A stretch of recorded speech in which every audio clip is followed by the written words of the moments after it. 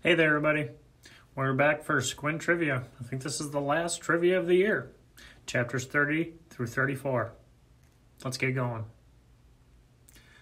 Chapter 30. What does Squint mean when he says, McKell was the one with the vision problems there?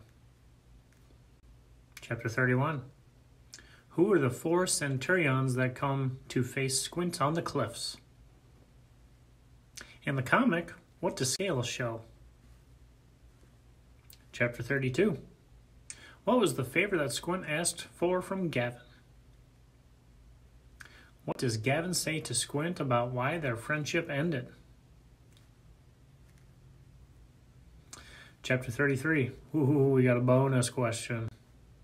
Who is Jared? Chapter 34. What was one of the grandma and grandpa rules?